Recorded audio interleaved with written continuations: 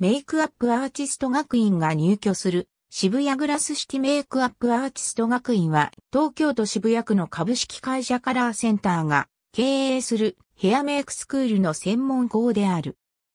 1972年、東京都渋谷区にメイクアップアーティストのプロ、養成校として日本で最初に設立されたヘアメイクスクールである。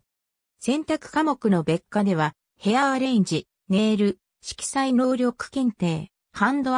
フェイシャルマッサージ、着物着付けなどの技術も同時に習得できる。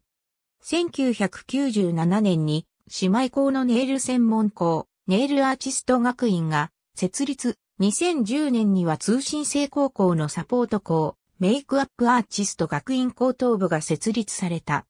2017年4月より渋谷駅南改札徒歩3分へ移転している。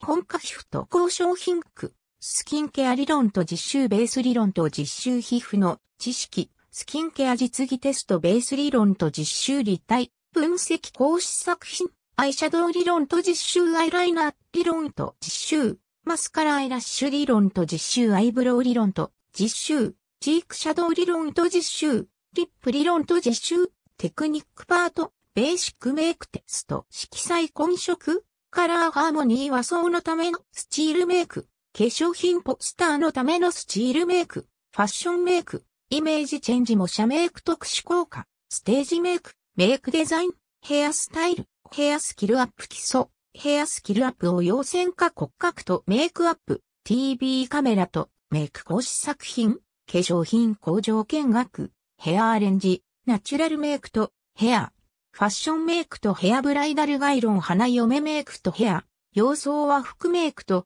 ヘア花嫁メイク、和装、ボディペイント白塗りピエロ、サマーメイクとヘア、エイジメイクネイルフレグランス、フェイシャルマッサージ、ダンスメイク特殊メイク接客マナー、パーティヘアメイク、トレンドヘアメイク、サロンヘアメイク自由作品作品発表。